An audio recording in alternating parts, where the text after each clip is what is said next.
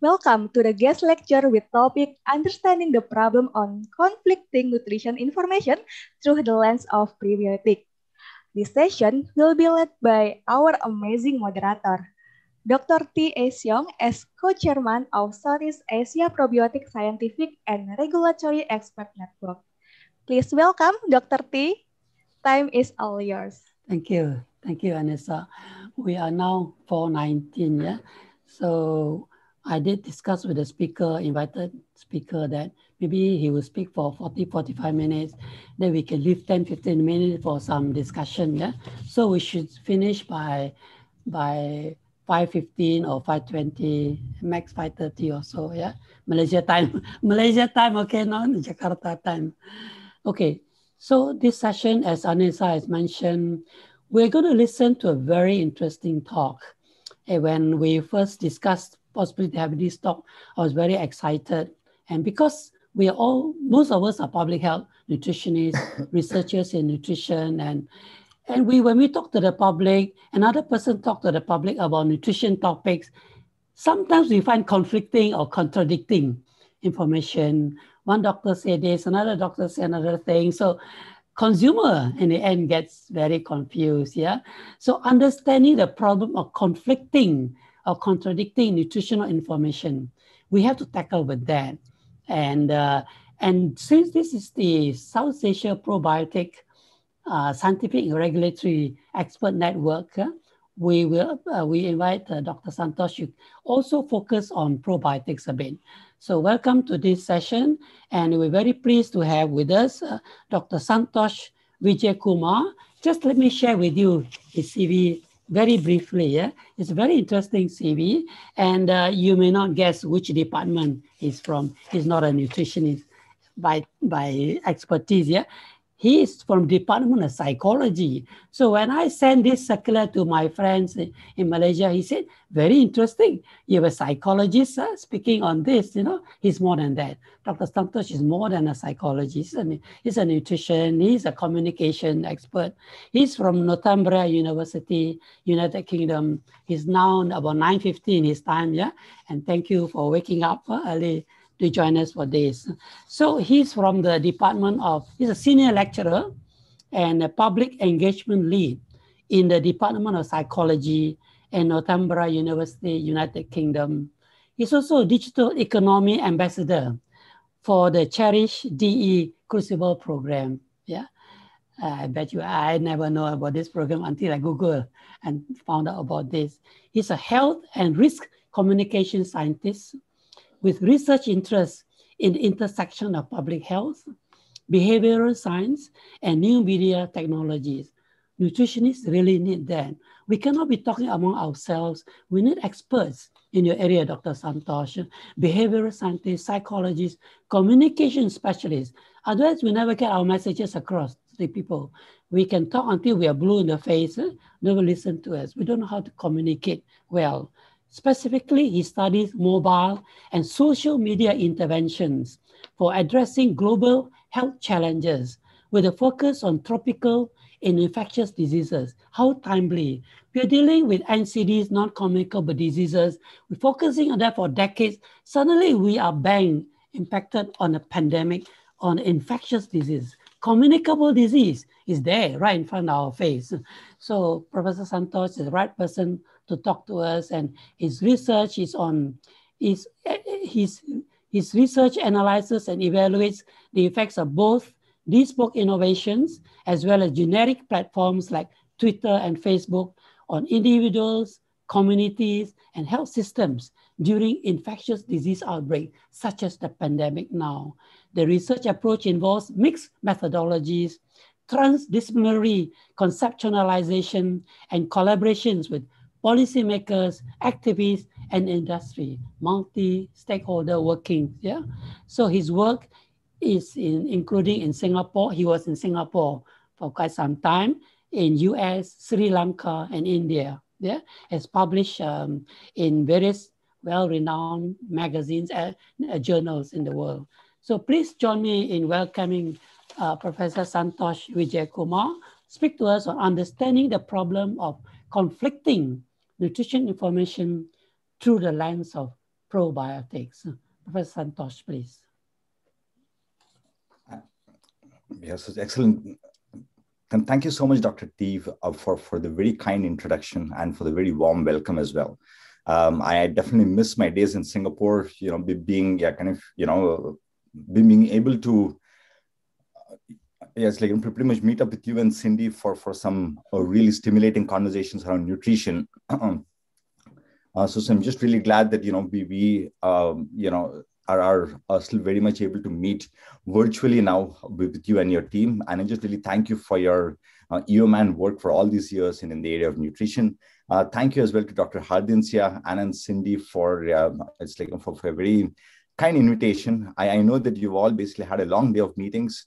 Uh, so, so I just really hope that you know that I can do enough to keep you awake.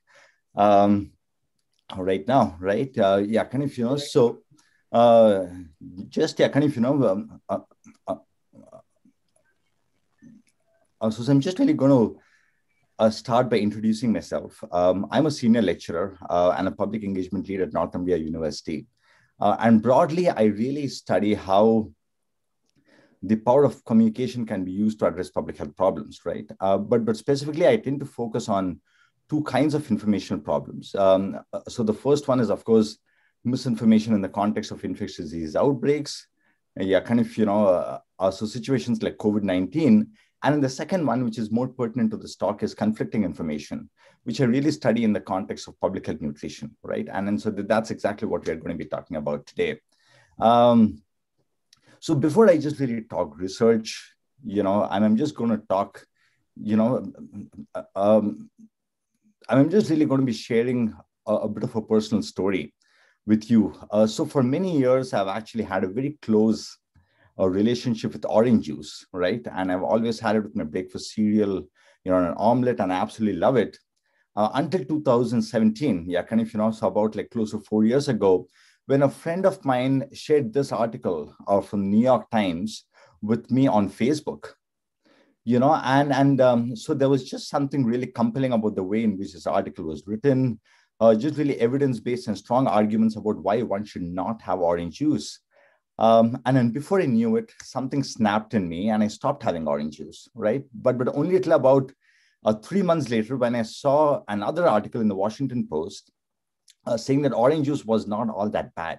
Um, right? But but by then the damage was already done. Um, and orange juice and i you know we, sort of i think you can say that we, we um, pretty much had a very acrimonious breakup um, you know um, and then while i still do have oranges from time to time our relationship just does not have the same passion right? And it just just just not have the same magic anymore. And so that's when you know through this personal experience i realized the real power of of, of conflicting nutrition information and, and i really wanted to try to understand this particular problem, this particular phenomenon in greater depth, right? Um, so which is basically when, yeah, kind of, you know, through um, several conversations with Cindy, who was actually working quite actively in the probiotic space, you know, I basically started thinking about conflicting nutrition information and about probiotics a bit more specifically. Um, so yeah, kind of, you know, so a few years ago, uh, you know, um, I, kind of, you know, there, there have basically been researchers in, in the US, uh, yeah, kind of, you know, Rebecca Nagler and her team have actually studied uh, the, the effects of conflicting nutrition information quite a bit. Uh, you know, so they have also kind of you know, pretty much studied it in, in various different contexts. Um, and then what they basically kind of, you know, pretty much, um, you know, really define conflicting nutrition information is as as messages that offer information about a single behavior and producing two distinct outcomes, right? Uh, and so while, while we all probably uh, conceptually understand this, I, I, just want to show you a few examples of how this works in the mass media. Um, oops, okay, right, yeah. So on, on the left, you basically see an article from Time Magazine which says three reasons why coffee is so good for you. Uh, and on the right, you see uh, you know, an article from CNN, uh, from, from the same company, really, Time Warner, I guess. Yeah, kind of, you know, so which basically says that coffee may come with a cancer warning in California, right? And once you read this headline, you start thinking, oh my God, but, but I had already read that coffee is good for me. And, and now these guys are saying that that coffee could cause cancer. Um, the second example, of course, you know, the, the unexpected health benefits of red wine. Um, and, and so on, on the right from the same telegraph about an year later, uh, we basically see that red wine is bad for you, say experts, uh, right? Uh, and so last but not the least, eating cheese and red meat is actually good for you. And well, the Guardian says, oh, sorry, excuse me. Yeah, of, you know, well, well, the, the Guardian says, should we give up, re, uh, it's like, you know, eating red meat, right? And, and so as a consumer, uh, you can basically imagine, um, it's like, you know, what, yeah, of, you know, so, so I think those of us from the nutrition community, those of us from the scientific community, we are used to seeing uh, conflicting evidence all the time because that is the nature of science, right? But for the general public, when they basically see a conflicting information about the same uh, food product and nutrition product or, you know, um, or a nutrition issue, uh, it actually starts, you know, starts affecting them in various different ways. And, and so the, the literature basically says, you know, that the conflicting information can actually affect our consumers in three main ways. Okay, the first one is, you know, it can cause a nutrition confusion, okay, which is really a perceived ambiguity about nutrition recommendations and research, where, where people are just really wondering, what does this mean, right?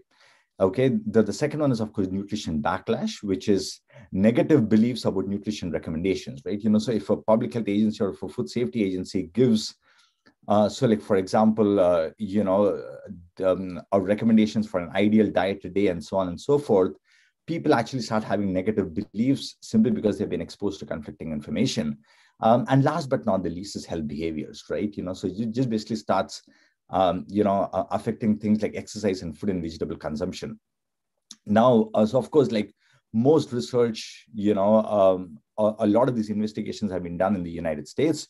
So, and then being in the UK, I basically really wanted to study, you know, how, you know, how does this phenomenon play out among the UK consumer population?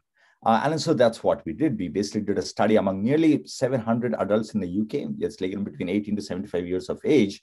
Uh, and here's what we found. Um,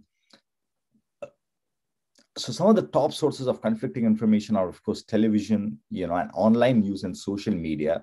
Okay, but but of course, comes not too closely is actually friends, family, and co-workers, right? And and we, we basically also found that you know that people were exposed to conflicting nutrition information to a much lesser extent from newspapers or magazines, medical and health websites, and healthcare professionals and other sources as well, excuse me, right? Um, and then so what you see on the screen here, you know, is, is really a structural equation model, which basically shows associations between information sources and, and their psychological and behavioral effects in the context of, of conflicting nutrition information, right? Um, so what we see on the screen is, for example, you know, um, that that online news also conflicting information from online news and television leads to confusion, uh, right? Uh, okay, it's like, you know, but, but at the same time, a conflicting information from health professionals actually leads to backlash, right? We also see that greater nutrition confusion is associated with greater backlash, yeah, kind of, you know, so 0.39, um, right? And um, and then lastly, yeah, kind of, you know, but what we also see is that a confusion leads to lower exercise behavior and backlash leads you know to, to lesser fruit and vegetable consumption right yeah so let's think about that for the moment right? You know so these are you know daily articles that all of us come across. And then we're just always wondering why why does the media say one thing one day something else the other? Uh, you know and the, the research is actually telling us that uh, the constant exposure to this kind of conflicting information can actually have um, some pretty worrying effects, you know, on how we psychologically process and react uh, to nutrition information and potentially, uh, you know, on, on our dietary and health behaviors as well, uh, which of course I, I should note at the point of caution, I think, you know, there is a lot of, you know, a criticism about self-reporting in a nutrition dietary research and, and that that is definitely one of the limitations, at least you know, when, when you look at the findings about fruit and vegetable, you know, and then exercise as well. Uh, so that that I, I just wanted to just kind of you know put it out there but but i think you know um, structural equation models are pretty robust we, we did have some pretty strong measures of fit for this particular model. And, and I think from a you know, from a um, psychosocial, from a cognitive standpoint, I think uh, it definitely points to the presence of a problem that all of us need to be talking about, um, right?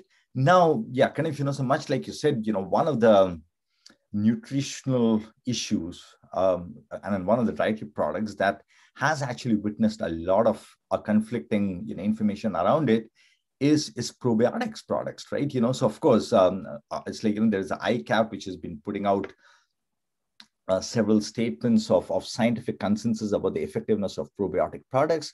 But we also know that in the recent past, yeah, kind of, you know, there have been uh, studies, for example, yeah, kind of, you know, from, from research groups in, uh, you know, in Israel, uh, which have just really questioned the, the ability, you know, of, of probiotic products to, yeah, kind of, you know, to, to sustain themselves in the gut. And then they've basically questioned whether probiotics products can actually, you know, uh, be, be helpful for health at all. Uh, you know, and so here I just really I kind of privilege again some contrasting headlines. Uh, uh, one of which, of course, again from Time Magazine says, could probiotics be a new strategy for weight loss? Right? Um, it's like you know giving consumers a lot of hope, uh, but at the same time, yeah, kind of you know the New York Times says there are problems with probiotics. You know, the Guardian says probiotics are not as beneficial for gut health as previously thought. The Scientific American, one, one of the leading scientific publications, says, Are probiotics safe for your immune system? So that, that's a very tricky headline, though, because you know it's a very non-committal headline, um, and so that, that's both um, good and bad, um, you know, in some ways, really. Uh, and of course, last but not the least, of, you know, probiotics help your immune system? Kind of, very similar to the scientific American way of, of presenting a headline, right?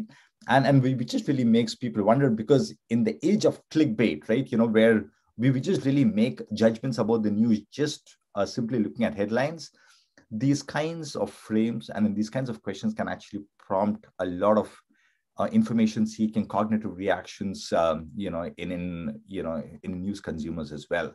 Um, so yeah kind of you know so pretty much over the past like nearly two to three years you know um, i have really you know, uh, uh, me and my team, of course, my uh, yeah, kind of team, which, which is just really spread here in the UK and Singapore as well as in the US, uh, we've just really spent a lot of time studying the effects and dynamics of, of the probiotic you know informational ecosystem right? And and so that's a huge one. Uh, you know probiotics we all know is a is a massive industry generates billions and billions of dollars. You know a lot of uh, hype around as well about what it can do what it cannot do a lot of debate. Um, so we just really wanted to sort of, you know, enter into the fray and just really try to get a good sense, um, you know, of of the kind of, you know, um, psychological effects as as well as the information dynamics as well in the probiotic space. And, and so I think our, our research over the past few years can just really be categorized in two ways.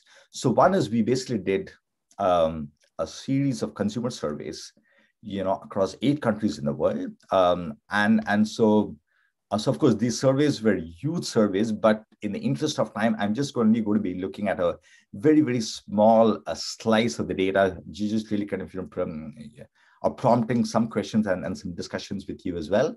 Um, and, and of course, uh, social media analysis, uh, simply because, you know, uh, there, there's also been a lot of e-commerce um, you know, uh, activity around probiotics products. You know, the probiotics industry has actually been, you know, really, really um, keen to basically kind of, you know, to to uh, to leverage the power of internet and social media technologies to reach out to consumers.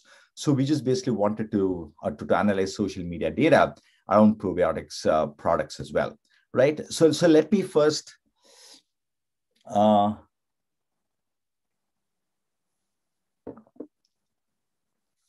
uh, talk about the, the consumer surveys really, right? You know, so what, what we see here on the screen are, yeah, kind of, you know, so we have basically conducted surveys in close to about eight countries in the world, Indonesia, Malaysia, Philippines, Singapore, and Thailand. Of course, yeah, kind of, you know, um, countries from the ASEAN region, uh, and Vietnam as well. And, then, of course, uh, the, the, United Kingdom, which is where this research started, which is where it's like, you know, you basically see the massive sample size and in the United States.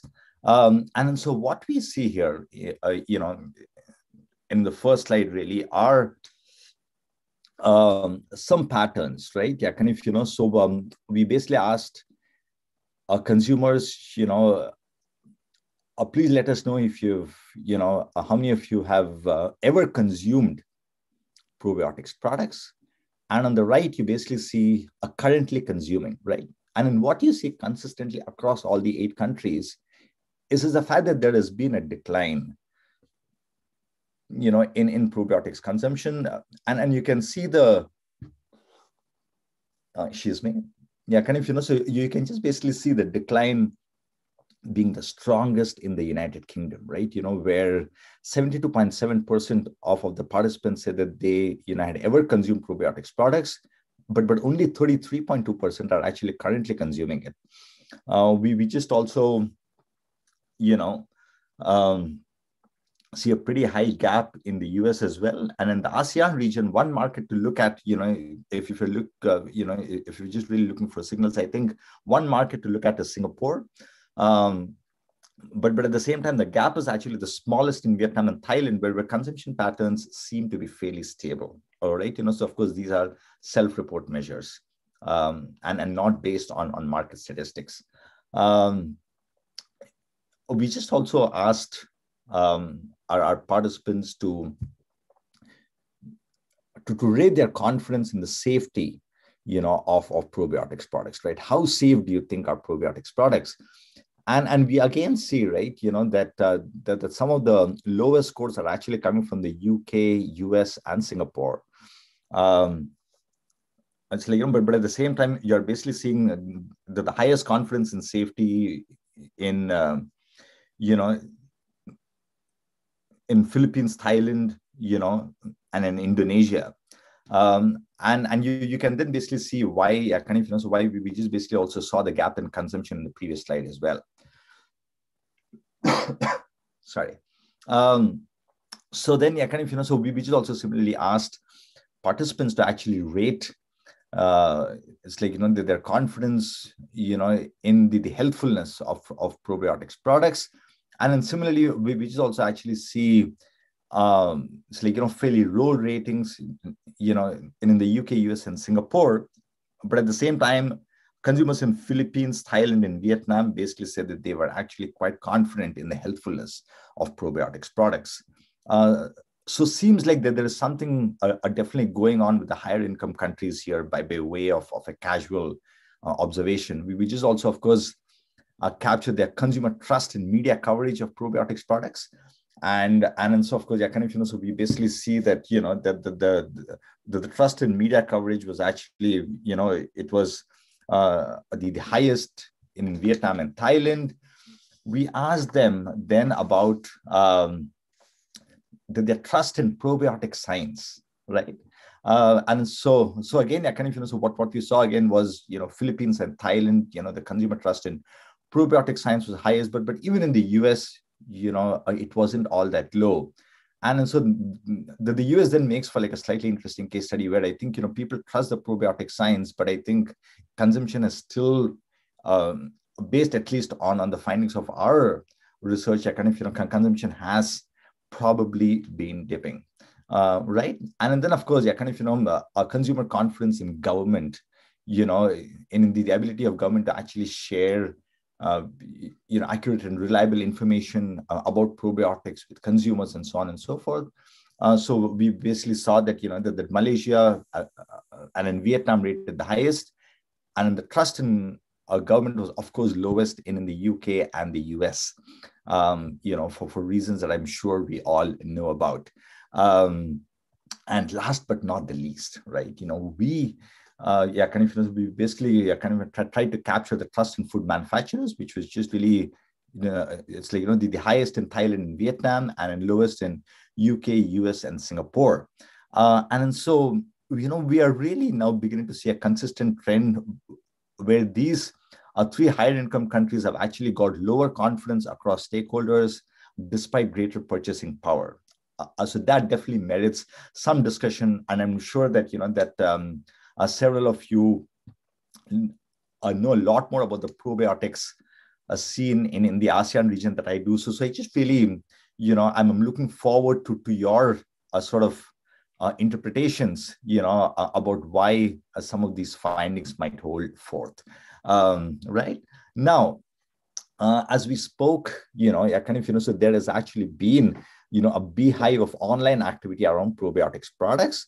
Um, you know, thanks to the many e-commerce initiatives that uh, you know have basically been undertaken by various segments uh, of the probiotics industry, so that that probably you know uh, includes the huge uh, corporates as well as um, smaller kind of you know um, retailers uh, uh, and so on and so forth as well and, and so what we wanted to do was we just really wanted to leverage the power of social listening tools um, to understand this online you know uh, probiotics informational ecosystem a bit more right? You know and then basically did that through some big data analysis of, of probiotics chatter on on social media.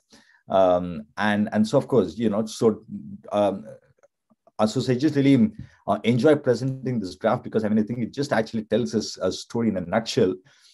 Um, so I just really think you know that the fascinating you know aspect of the whole probiotics world, you know, when you compare it to GM food products, you know, is just really this right? You know, so probiotics products, I think you know there is, um, you know, um, been a lot of uh, conflicting information around probiotics products. Uh, it's like you know, but but despite that, I think we have basically seen you know, um, it's like you know, some very promising uh, market trends, market projections, and so on and so forth. And then of course, I, I know several of my family members, several of my friends love to step out of their house with, you know, with, with a bottle of Actimel and feeling all fit and great, right? Uh, uh, so there is, yeah, kind of, you know, a certain positive sentiment associated with probiotics. Um, but when it basically comes to GM foods, by and large, I think there has been uh, quite a bit of consensus around the fact that you know that the GM foods, you know, are no less or no more harmful as opposed to you know as opposed to natural foods. Uh, and of course, uh, that is a huge debate which you know which you can say for another day. Okay, but I think you know, but but despite that, uh, I, I think of what, what this particular graph really shows is the fact that, you know, uh, despite the scientific consensus, the, the red bars basically, you know, uh, indicate negative sentiment and the green bars uh, indicate positive sentiment, right? Uh, so let's look at both these graphs. So, so despite the sort of by and large scientific consensus, it's like, you know, we basically see a consistent negative sentiment around GM foods, uh, you know, over the past uh, 10 years or so from 2008 to 2018 um, you know okay and and it's like but when it comes to probiotics products though the you know the, the state of the evidence is still sort of emerging. Things are still in a of, you know in a bit of a flux. Um, you know we are actually seeing increasing positive sentiment uh, around probiotics products right? You know so there, there is uh, a, a really fascinating uh, sort of you know um, a dichotomy uh, out there, a paradox, if you will, you know, and and so of course, you know, there's basically been um, some really fascinating work done by some of my colleagues across the street in Newcastle University about how the small probiotics bottles actually inspire hope, uh, you know, and I'd be more than happy to to share that paper with you as well, uh, uh you know, um, at some point. But yeah, but but I think uh, to just basically it's like you know give you you know the, the contradiction in a nutshell through these two graphs. And and so uh, uh, what what you see out here are of course automated content analysis. Uh, we just basically also did some automated analysis of of probiotics topics and influences in emotions. Um, i'm just really of sorry about the fact that the, the, the diagram that you see it does not seem to be too clear but but i think you know uh, um, so if you just really look at the lower part of the diagram the green bars and the multicolored bars that you see you know is actually the social listening platform uh, you know automatically capturing uh, various sentiments uh, sorry or various seven different kinds of emotions you know uh, about probiotics products. Yeah kind of you know from from joy to sadness to anger to rage and frustration as well. Uh, we will also basically see some, some key probiotics keywords uh, in the form of topic wheels. And, and the list that you see are basically some of the, you know, some of the, the automatically it's like generated lists of, of probiotics influencers. But uh, you know we we do see that you know that the automated uh, analysis of this kind you know uh, is actually very useful for, for for generating some formative insights. But but being researchers, being scientists, we basically wanted to you know dive into the data a bit more using the kind of uh, methodologies that we wanted or to define, right? And then so which is why I kind of you know we basically did a topic modeling, you know, um, uh, analysis um, of of um, of probiotics chatter on you know in the UK Twitter space over like the past uh, yeah kind of you know past close to yeah, kind nine years or so, and then what we basically see was you know um, at least when it, it comes to UK, a lot of the um, you know a, a, lot of the chatter is just really uh, centered around discussing probiotics as functional foods, right? You know, so there is a lot of um, you know focus on, on some of the health uh, you know, on some of the, the health impacts and the, the health effects as well. Uh, we just also actually saw a lot of, uh, excuse me, of, you know, promotions related content, you know, on, um, you know, on, on uh, the, the UK Twitter space. And then of course, I mean, I think, you know, so some, some of the more uh, technical aspects received much less focus. Um, we then actually did, um, you know a social network analysis you know to just basically identify who exactly i mean it's like how exactly are are the communities around probiotics are the, the online uh, communities around probiotics emerging? You know what you know what kind of longitudinal variations are actually there in the emergence of these online probiotics communities because then we basically get to see a sense of how active the space is right? Uh, and so what you see on the screen are of course you know it's like i mean i wouldn't like to go into the technical uh, technical aspects of social network analysis right now but but i think you know for, for you to just really focus you know quite simply on the left column on the uh, you know and on the rightmost column right? Um, so we, we just basically says that you know when when twitter for example first came about that they were just really about two communities uh, centered around probiotics, right? You know, but as the years rolled on, it's like, you know, there was actually more and more Twitter activity, uh, you know, and, and the Twitter activity, the number of communities peaked, you know, at around about um, 2014. Uh, it's like, you know, where we basically saw about nine different communities. And, and then after that, you know, we have basically seen a little bit of a decline and, an, uh, and a little bit of like a plateauing in the UK Twitter probiotic space, which, which I think with, with the number of communities stabilizing around an equilibrium of about, um, you know, six to seven communities really. Um, and then, of course, you know, we, we can also see the, the longitudinal patterns in the top hubs and authorities. So to just really give you a quick context, yeah, kind of top hubs, uh, uh, you know, um, are just really defined as, you know, uh, as as Twitter accounts that actually send out or, or, more tweets, right? You know, so these are the talkers in Twitter space. You know, uh, uh, and in the top authorities are people who actually get tagged or get mentioned, you know, in tweets, right? You know, so um, uh, uh, kind of, you know, so um, what what you just really see out here are, of course, yeah, kind of, you know, so the, the Twitter accounts with high in degree values are, of course, considered as authorities since uh, these accounts get tagged more in tweets, uh, you know, and and so you know, uh, what, what we really see, you know, in this particular series of graphs is the fact that except for the years 2013 and 2016, you know, OptiBac emerges as the top ranked authority, you know, uh, in, in the UK. Um, we, we, of course, see that, you know, the, the, the, British Dietetic Association, you know, was definitely tagged, you know, in, in more tweets than an OptiBac. Uh, I think in academic from was 2017, but but I think you know that apart from OptiBac, uh, none of the other Twitter accounts actually uh, appear in the top five authority ranks for all the, the nine years, right? Um, and then so of course, yeah, uh, uh it's like we, we can uh, definitely notice that you know the, the accounts such as Mercola and a Nutria, you know, and uh, you know, uh, Europe actually appeared in 2010 but but they just also quickly disappear as well right? And and so you know and since 2016 of course the british dietetic association has appeared to be you know a, a pretty prominent authority in, uk twitter networks right?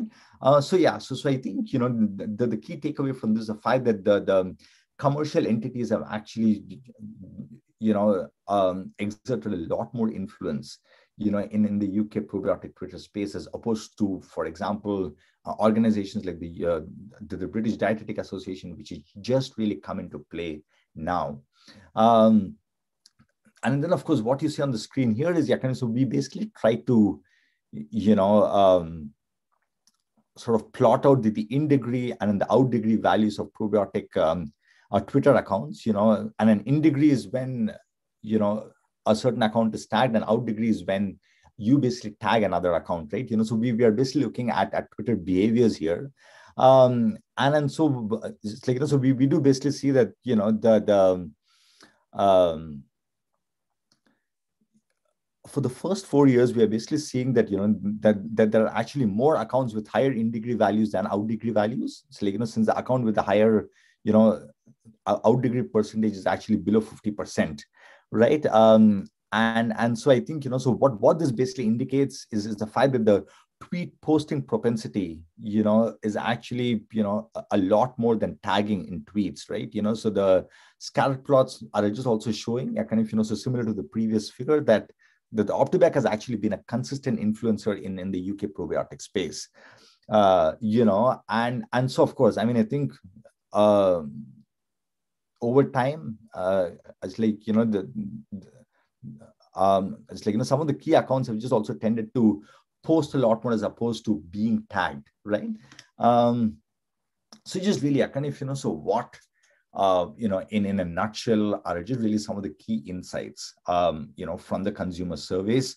Um, for starters, yeah, kind of, you know, so we do basically see a decline in consumption. Yeah, kind of, you know, so despite market projections, uh, you know, and at least the participants in our uh, survey, they, they have basically reported a reduced consumption of probiotics products, which is actually quite interesting given how probiotics might come into relevance in the context of COVID, that there's already been some market you know, uh, activity around that.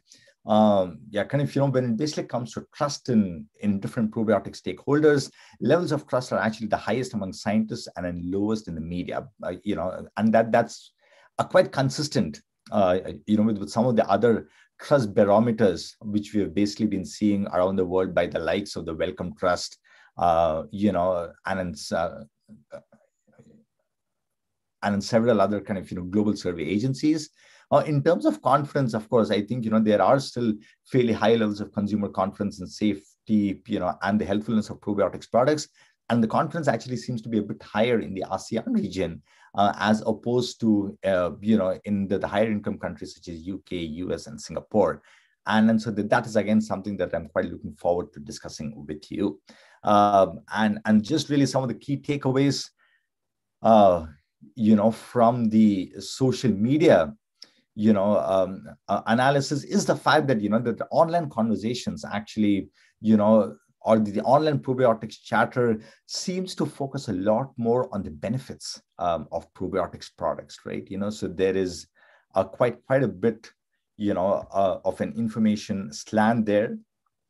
Um, uh, kind of you know uh, uh and in part simply because the space you know is, is quite populated you know, with, with commercial entities who are actually exerting a lot more influence, uh, you know, on social media conversations, right? You know, when basically comes to influencers, yeah, kind of, you know, so uh, much like I told you, yeah, kind of, you know, commercial entities actually wield the most influence, um, you know, and at least in the UK probiotics Twitter space, we are now actually beginning to expand our analysis to actually looking at, you know, uh, at a Twitter, uh, and then a few other social media platforms in other countries to just really try to compare uh, the kind of stakeholders who are actually at play, the types of influencers who just really uh, so wield a lot of influence.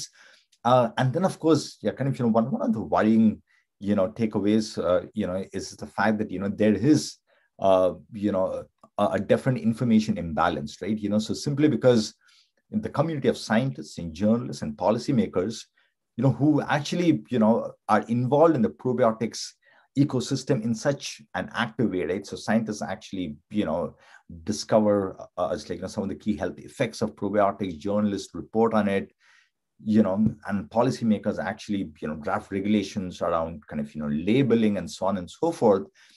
and then for the kind of involvement that they basically have in the offline world, I, I think they've uh, like pretty much got precious little, you know, by way of influence in the online world, which which is a, a little bit, uh, you know, of, of a worry. If, if you know, if, if you all just really are kind of pretty much agree that you know we need to uh, develop or shape an ecosystem where consumers can actually make informed choices about probiotics products, uh, right? And so that just really um, brings us to the science dissemination cycle, right? You know, so what what happens?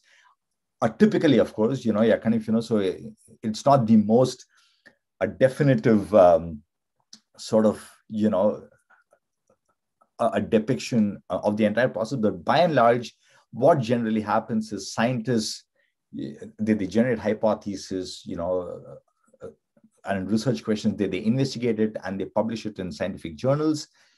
You know, when uh, the the uh, evidence is published, you know, it basically gets distributed by by the, the public relations departments of various universities through a press release, which is already where I think a lot of the, the information distilling happens. And, and the public relations folks, they send it to the news media and the news media of course you know so they basically give it their own slant based you know uh, on on the way that they want to set the agenda and the way that they basically want to frame the news you know and once that is done you know the news basically starts spreading on social media and finally reaches the public right you know so that, that's of course sort of a, a typical sort of science dissemination cycle when it comes to things like probiotics products okay but it's like you know the, the gap uh, as we see it, is, is just really between the scientists and the public, where we are really trying to say that, you know, that science cannot happen, you know, with scientists sitting in an ivory tower, right? You know, so the, the benefits of science are accrued by the public, and the people are also actually quite instrumental for for informing the scientists about the kind of problems that need to be investigated, right? So we are really trying to say that uh, you know that that scientists and the public need to start talking to each other a lot more. And so there are of course already several initiatives underway.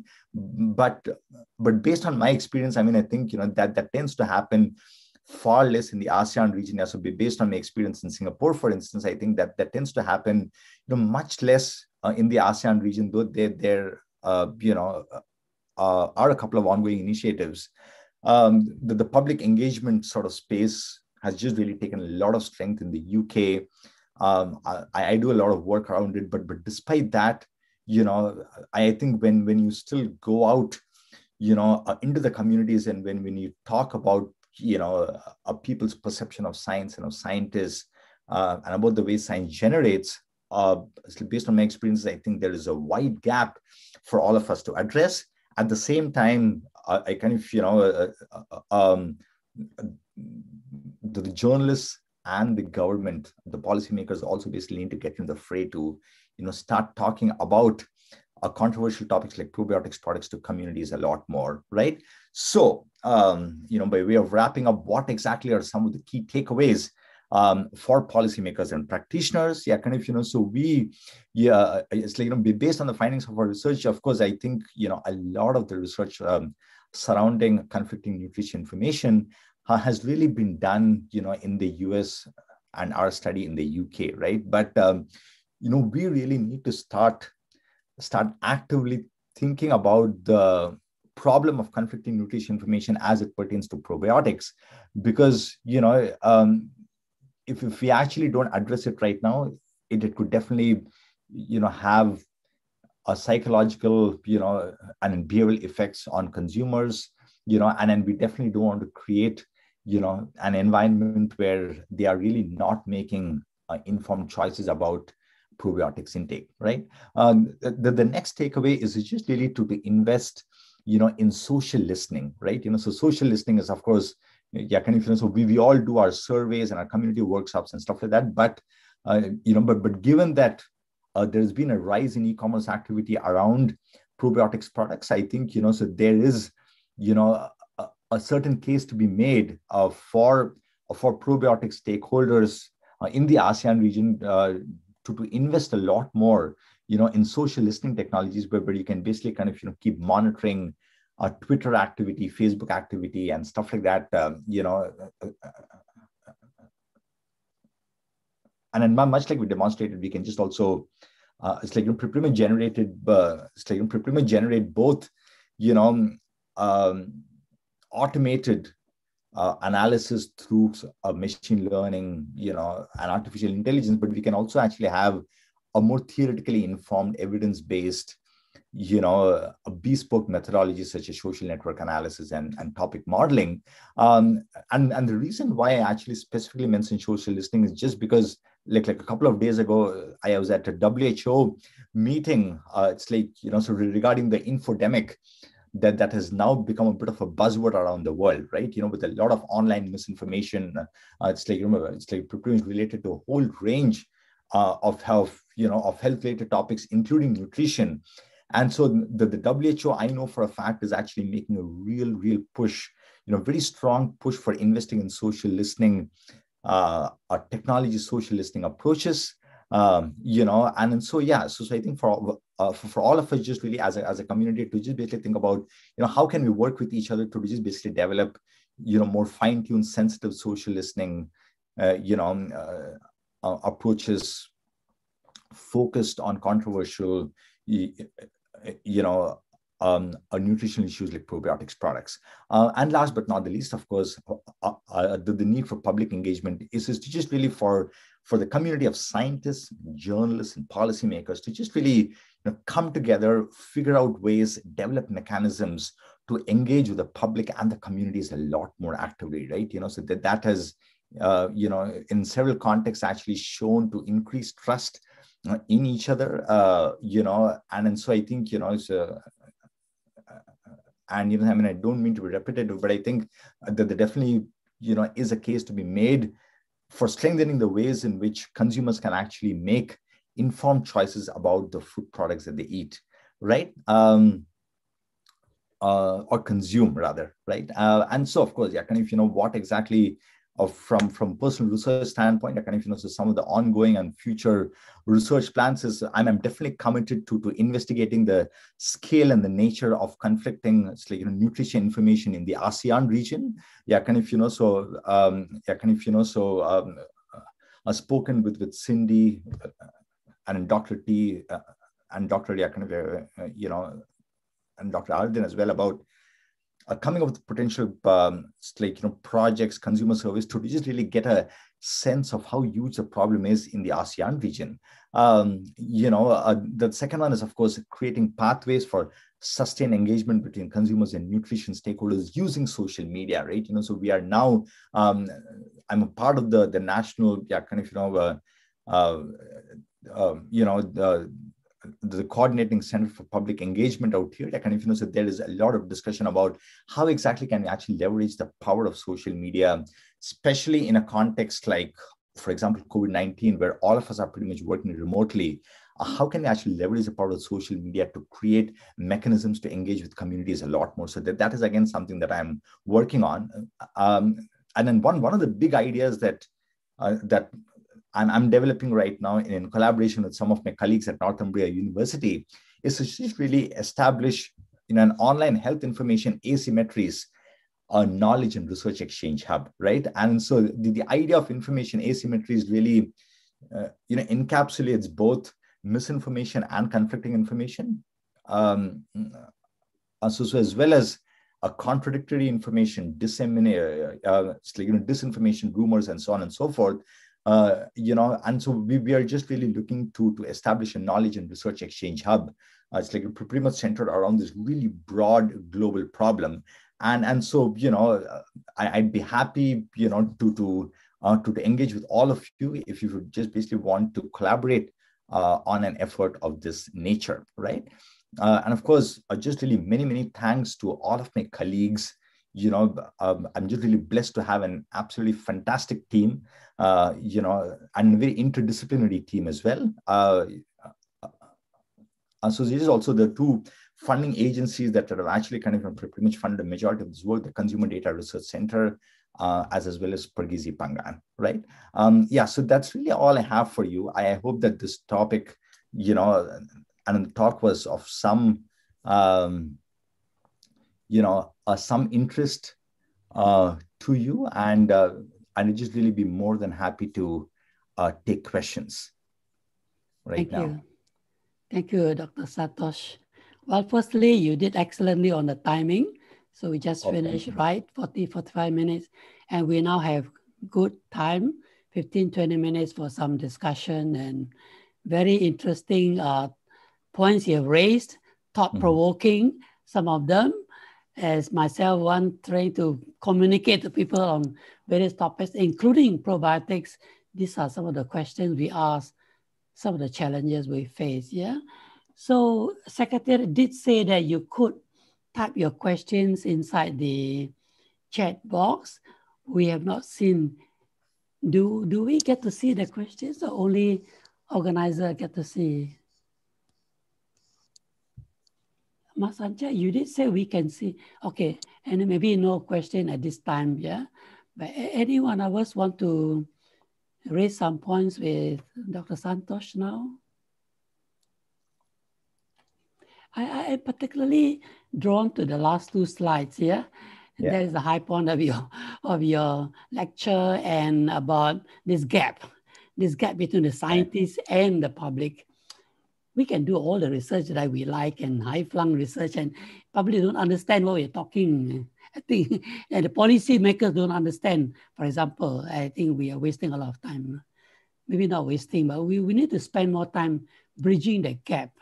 So you you propose more uh, you more engagement with the public. How would this be? Through seminars or what other things? Social media you mentioned also, right? Would you elaborate that, on that a little bit more? Yeah, yeah, of course. Yeah, kind of, so there, there are at least, yeah, kind of, so three ways in which, you know, uh, I, I, can think about it. Uh, so, so, of course, in, in the UK, there, there is like an entire, um, a systematic process, you know, to, to engage the public, right? Kind of, so one, one is to basically kind of, you know, uh, it's like you actively engage communities, you know, in uh, informing the kind of questions that we are really developing, right? Uh, so that is just really one. And so that, that's a blend of both you know uh, uh, online and offline approaches. All right you know so there are of course yeah kind of you know so when, when you basically look at the creative aspect of it yeah kind of you know so we have been a part of um, uh, uh um it's like you know theater and drama workshops with school children to talk about probiotics products.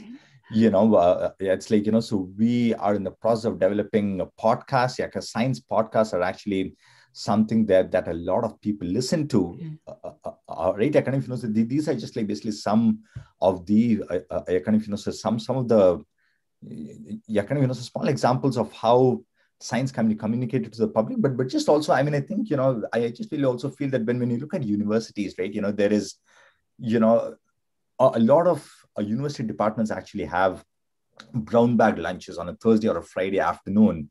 You know uh, and then mostly you know uh, one of the faculty members come uh, uh, you know and they present their research uh, uh, and yeah kind of you know so it's like i mean i think they're it's like you know colleagues are you know are pretty much the ones who are actually mostly there in that seminar room listening to that piece of research. Uh, so one of my questions is why can't we open up these you know university seminars to the general public you know for, for people to just really come you know ask uh, it's like tough questions of the scientists about of you know because uh, a lot of the science is also actually funded by taxpayer money, right? uh, you know, and yeah, exactly right. Yeah, kind of, you know, so there basically also has got to be some accountability, you know, from, from the side of the scientific establishment to actually answer yeah, kind of, you know, taxpayers questions, if you will. So yeah, so so I think, yeah, kind of, you know, so I don't wish to get too political about that, but but I think just basically, mm-hmm. yeah, I, I, kind of, you know, so say that, you know, that there are both creative approaches, there are slightly more boring approaches, right. which might uh, yeah, kind of create a kind of you know, some, some of these facilitating mechanisms. So, um, so, that, okay. so that they don't just stay in their ivory tower, right? exactly, exactly. That's right. That's okay. right. Yeah. Uh, Any other points for other can I have question, uh, Dr. Tee? Please, Prof. Yeah. Yes. Yeah, so thank you very much, uh, Dr. Santosh. It's very, very uh, a good and excellent presentation. Uh, there are two slides that uh, impressed to me why the the confidence on food safety, maybe this is especially for probiotic, yeah, or it is for uh, uh all the kind of food. In Singapore, US, and UK is lower than the other Asian countries, like in my country also. So uh, uh, it's difficult to to my mind to accept like that because it is the developed country. Uh, exactly. Mm-hmm. it should be uh, have more knowledge and food safety. Uh, why in that three countries, Singapore, UK, and USA, uh, less confidence on food safety. And the second question also, why in these three countries look like a parallel uh, mindset there, that the consumption of food of probiotics is getting mm -hmm. lower uh, compared to the current consuming. Thank you. Yeah, yeah, absolutely. No, yeah. So that that's a very valid question. Yes, I mean, just also something that I've spent a little bit of time wondering about. You know, I, I think I probably feel a bit more confident. Uh, it's like you know, speaking about the UK and the US context, but but I think uh, you know to make sense of this finding from a Singaporean context, I had uh, I'd like you know surely like to. I kind of you know to, to invite Cindy out to chime in as well with her thoughts. Uh, uh, uh, right kind of you know so from from the uk and in the us context i mean i think you know there is you know a lot of exposure to media for sure you know and then people tend to consume media a lot but but i think generally i, I think there is quite yeah kind of you know so you might all probably heard of of the, the general UK skepticism, right? Yeah, kind of, you know, so uh, uh, uh, uh, it's like, you know, so that, that of course, yeah, kind of, you know, so is one of the more uh, cultural aspects by which like, you know, something like this can be looked at. I, I think people probably, uh, uh you know, uh, so I do of course think that you know one one of the reasons is the fact that I think there have also been, it's like you know, uh, several um, nutrition related controversies out, out here yeah. in, in the UK as well. already kind of uh, like, you know, which have actually really fueled a consumer mistrust, you know, in in functional foods and stuff like that. Cindy, uh, would, would you like to talk about uh, Singapore a little bit? yes. uh, Dr. Santosh, is it related to the vegetarian uh, growing uh, mindset? Maybe the, the, the vegan maybe have uh, a view that a probiotic is animal food. Is this right or not? I don't think so because I mean I think you know uh, so one one of the things right uh, uh it comes to uh, it's like you know, so one one of the really uh, fascinating uh, you know um, Uh, observations that I've pretty much had out here in the UK is the fact that you know uh, that the UK government that does not permit the use of the word probiotics right oh. okay but at the same time I, I think suppose if I go to the supermarket yeah kind of you know so there is an aisle you know a complete aisle which is called probiotics, but but none of the products, you know, in that aisle will actually have the word probiotics mentioned on them. Oh, yeah. yeah. Right? Yeah. Uh, yeah. So I think that there is, yeah, kind of, you know, so yeah, it's like, you know, I, I do know at least of, you know, several of my friends who use probiotics products. My own niece, uh, she has Actimel before she goes to school, yeah. you know, and and so yeah, so so I think yeah, kind of so there, there definitely is is a you know, I mean I don't think that you know that um, you know, it, it's a widespread um, sort of like a phenomenon. But but I think of several factors come into play. It's like uh, it's like pretty much including yeah, kind of you know trust in policymakers, trust in regulation, you know, uh, and and uh, a trust in media as well. Uh, would would Cindy like to make a comment about what Dr. Santosh mentioned? studies and also the ecosystem that we live in Singapore. So in 2017, I remember there was a um, quite a, a wide study done by the Institute of Policy Studies in um, Singapore, um, which showed that the public confidence on authorities and government institutions in Singapore is very high. However, the underlying thing is that Singapore, although the uh, confidence level is measured as very high, but uh, the public is still has skepticism to the to the agenda to so so uh, while the context of the study is not really on health information but it also shows that the perception the attitude of the um, residents eh, or the community living in singapore the respondents to have a very questioning mind uh, okay. behavior. So yeah. amidst that political landscape and the way the society is progressing, so that could also partially explain that, you know, the way people here think, whether it, uh, overall, okay. you know, the way the society here think that, yeah. yes, I do believe, yeah, the policy is in the best intention. I believe the trust in the government is high, but at the same time, so that, that kind of questioning mindset, that could explain to uh, and could warrant even further research into the health domain. Yeah, so a lot of things to study, and one one one size doesn't fit all, one solution doesn't fit all. If we want to engage the public with uh, more information, and there's a couple of questions here. I thought uh, Dr. Santosh, these two are quite linked. Dr. Tan Sui is asking from the survey findings. Uh, do you see differences in this conflict of nutrition information? Are there some link or association with ethnic groups, ethnicity? And the other one, Dr. Suparman is asking, maybe similar. What are the characteristics? Is it linked to also socioeconomic level of the people? Uh, is there, do you find some association like that? Yeah, yeah. So of course, yeah, kind of so we are, you know, in, in the process of conducting, you know, more uh, it's like you know detailed analysis, you know, on our data sets. We of course don't have uh, specific data about ethnicities, but yeah, kind of you know, but but what what we have seen uh, is uh, you know is, is that that there are different levels of exposure to conflicting uh, nutrition information across these different countries for sure. Uh, yeah, kind of you know, so it's like I mean, I think that you know I, I would speculate that a lot of that has basically also got to do with information seeking behaviors and and just as well i mean i think you know the uh, uh, uh, it's like you know there, there might actually be some cultures where people might be like you know no no matter what the news media says i'm, I'm just going to talk to my doctor uh, mm. you know uh, or, or i'm going to be talking to my grandmom to basically figure out you know if, if I should basically be uh, like I'm pretty much consuming probiotics, you know, so we definitely see uh, a lot of you know a, a, pretty strong role of intergenerational communication uh, when it comes to probiotics products. I mean, I think you know, so it's just also basically got some cultural antecedents. Uh, when it, uh, uh, uh, what what exactly was the second question? The, socioeconomic status is it also linked to?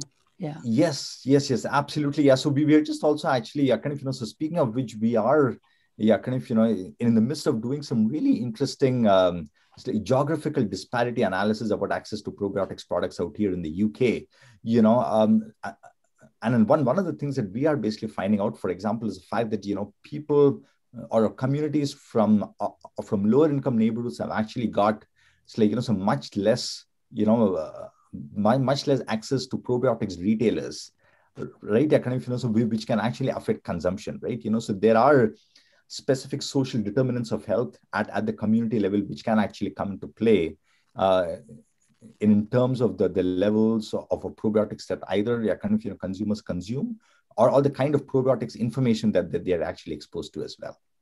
Yeah. Yeah. Dr. Santosh, you mentioned about social listening. Yeah. Yes. And you you you monitor the Twitter quite a bit. I, even how you do that and uh, is there software or Yes, yeah. For for this particular study, we had basically uh, it's like you know purchased the license for a commercial social listening software called Crimson Hexagon. Okay. Uh, uh, uh, okay, like, you know, but but at the same time, I also do know that just I think about like a few weeks ago, it's like you know Twitter has actually opened up their data sets to scientists oh, uh, okay. for analysis, right? Mm. and uh, I'd be happy to share that link with you. Oh, okay. so yeah, so so I think suppose if you can basically get hold you know, for example, uh, you know, uh, of a data scientist who is actually skilled enough to, to be able to kind of you know, look at that a particular data set. I mean, I think that there is a lot, uh, uh it's like, you know, to, to be, uh, to be investigated and to, to be understood. Um, and, and of course, I mean, I think, you know, so uh, social listening also, of course, has to happen at the offline level, at the community level as well, you know, so that that would actually be equally important because uh, several of us are not on Twitter, right? Yeah, kind of, you know, several of us actually actively stay away from social media channels as well. So, so it's quite important that you know that our voices are heard also. Yeah, yeah. Also linked to the Twitter, you did say that there was mostly mostly positive benefit chatter, right? But yeah, what, yeah. what what were the main negative chatter about probiotics? Hardly safety concern? No, hardly. Yeah, we hardly actually found a negative, yeah, kind of negative chatter about yeah. probiotics products. Uh, and the thing is, right, you know, so uh, and even if you actually keep the findings from our study aside, that there was actually another a really fascinating piece of research that, that I think was actually just published last year. So, you know, where, where they basically did a content analysis of probiotics websites. And so they basically also said that, you know, that most of the probiotics websites actually give only positive uh, yeah, kind of, yeah, kind of, you know, positively inclined information about probiotics products. Mm-hmm. And so that that was just really a kind of, you know, one, one of the reasons why I basically said that, you know, to, to even out the information balance, I mean, I think it's quite important for all stakeholders to contribute uh, to the online chatter, right? You know, because uh, we basically also see that, that that commercial entities are actually wielding a lot of influence. Yeah. But, but, but, but the folks have actually got access to the more balanced information. Uh, uh it's like you know, such as journalists and scientists are, are just simply not active, you know, on social media, trying oh, you know, it's like okay. a, and trying so. to even out the, the, the information playing field, so to say. Yeah, yeah. So, so why I ask you this question because in yeah. in, in in in here we encounter several um, social media messages very negative and cite mm-hmm. one report for example one study that say that consuming probiotics can give you uh, i don't know what's the term the, the the subjects became hazy brain and very fuzzy Ooh, brain you know uh-huh. that kind. There was one study, uh, I think, very small number of subjects. So we okay. have to counter this kind of um, negative uh, messaging become very, very annoying. And uh, because, but I said, you only one study, you know, but how do you, people get very excited and start chattering about this, you know, and, and get very, very busy kind of messaging to us because we do have a probiotic education program run by the Nutrition Society. So people uh-huh. asking us, how come you never address that that study? We did address that study. Yeah. So so yeah, are, yeah, that's right. Yeah, so that, that's another yeah, kind of you know. So to just quick, quickly speak to your point, right? You know, so uh, uh, so that that actually uh, dovetails a lot with my work on misinformation, right? You know, so how do you counter misinformation, right? You yeah. know, so that, that's like an entire sort of science in itself. Yeah, kind of you know where, where you're basically using different uh, strategies with corrective messaging to actually yeah kind of you know to, to address public misperceptions so um I'd be happy to talk about that. Yeah, kind of you know separately. Yeah, yeah, yeah. I know, I know, I, I know. Anissa asking me how much time left. Maybe maybe just another five minutes. Yeah. So there's a yeah. question here. In your survey, do people take more of supplement or probiotics in food type? Uh, so I think yeah, kind of you know, so at least out here in the UK, I, I think most of it I think was drinks or yogurts. Oh, okay. That's right. That's yeah. right. Yeah, yeah, yeah. That's yeah, right. You know, yeah. But yeah. but uh, I'd be happy to share uh, like, some of the descriptive findings with, with okay. all of you as well later okay. on. Okay, and, and and the word probiotic is not permitted in the UK market, right? Yeah well i mean i just don't think yeah kind of not permitted might might be the, the most accurate way to put it but but i think yeah kind of you know so suppose if you basically look at the probiotics part i mean i think that there is basically a lot of uh, uh it's like you know confusion about what's allowed and what's not allowed. So okay. yeah kind of you know so one one day I, I just picked up the phone. I actually called up the the you know the advertising regulators because i was just really curious right? I mean and they, they actually wouldn't come to an answer as well. So so i think the the the, the jury is just really like um, it's like pretty much out. But but i think the uh, supermarkets are calling that category of products as probiotics but but none of the products are self-identifying yeah. as probiotics products yeah uh, you so i'm not like really sure where yeah or rely this, on that spectrum of regulation really yeah this morning we also discussed that and european union european commission has not yeah. got a common law on allowing probiotics but individual countries professor ingrid shared with us a few countries in europe out of the 27 or so 26 yes. or so have allowed that individually but not as a common eu uh, opinion on that yeah Absolutely. i think that's correct we are quickly run out of time any more questions from other people i don't want to dominate the discussion. Okay, if not, then yeah, um, Mr. Adi already here for closing ceremony. Yes, yes, I, I would thank um, uh, Dr. Santosh Vijaykumar for sharing with us a very insightful lecture and lots of room for further discussion. Yeah, this is only the beginning, and let us build more on this um, on this topic, and then engage with you a bit more. Yeah, Prof. Santosh from now on, and see how we can.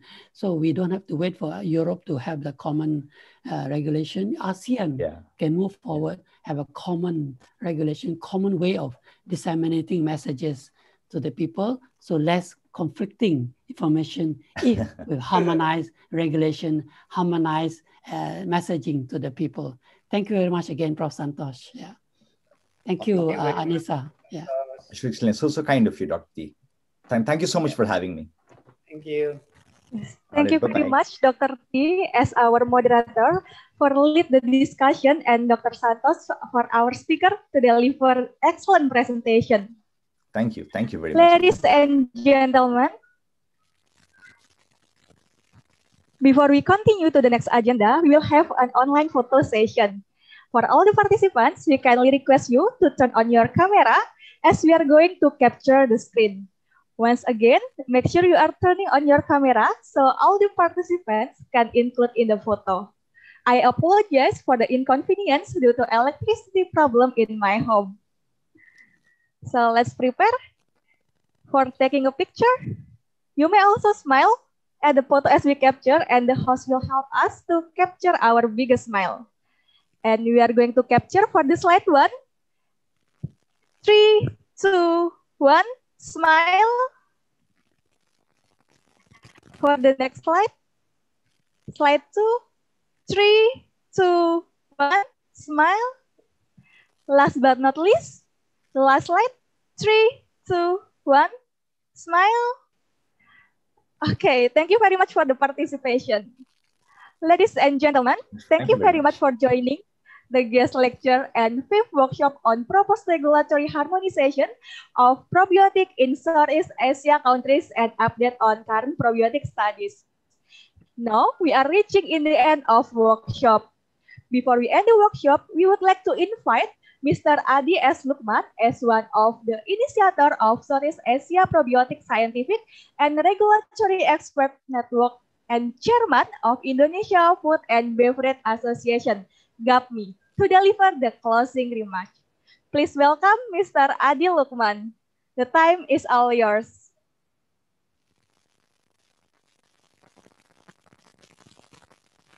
Uh, mute uh, by host, please unmute Mr. Adi. Okay, thank you. Thank you, Anissa. Thank you, Prof. Hadin, Dr. Tisiong, and also Southeast Asia Probiotic Strands uh, community. So it's a great honor for me to to deliver my closing remarks for all these uh, sessions. Uh, thank you for the contribution of all participants and especially the speakers in the fifth workshop on harmonization of probiotics regulation in Southeast Asia countries and update on the probiotics clinical trials. Spe special thanks to Pergizi Pangan who has hosted these meetings. Even though it was held virtually because the COVID-19 pandemic had not ended, we see that the participants were very active and enthusiastic in the discussions. We believe this virtual meeting does not detract from the meaning of this workshop. In fact, in the fifth workshop, it was increasingly conical to discuss various aspects such as harmonization of probiotics regulation for foods and supplements, definition of probiotics, positive list of permitted probiotics, general health claims, labeling requirements for pro products containing probiotics, procedure and for application for new probiotics.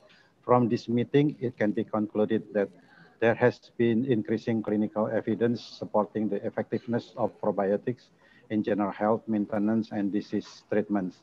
The market growth of probiotic has increased significantly as we can easily Googling even though some of missing advertisings, whether as fermented food or fermented food containing probiotics or probiotic foods. However, development of regulatory frameworks for probiotics in the region had not advanced in, in the same pace. the lack of harmonization, uh, regulation, and scientific guidelines on clinical studies on probiotics have been recognized to lead to issues and concern for the regulators, industry, and even consumers. The benefits of harmonizing regulatory frameworks uh, and re requirements in Southeast Asia countries have been recognized and are expected to benefit all stakeholders including facilitating regional and international trade in probiotic containing food and supplements, positive impact to research and development of probiotics by the academic and support innovation and development of products by the industries. Provide confidence to consumers, making available clearly labeled genuine probiotic containing pro, uh, products. I'm happy to know the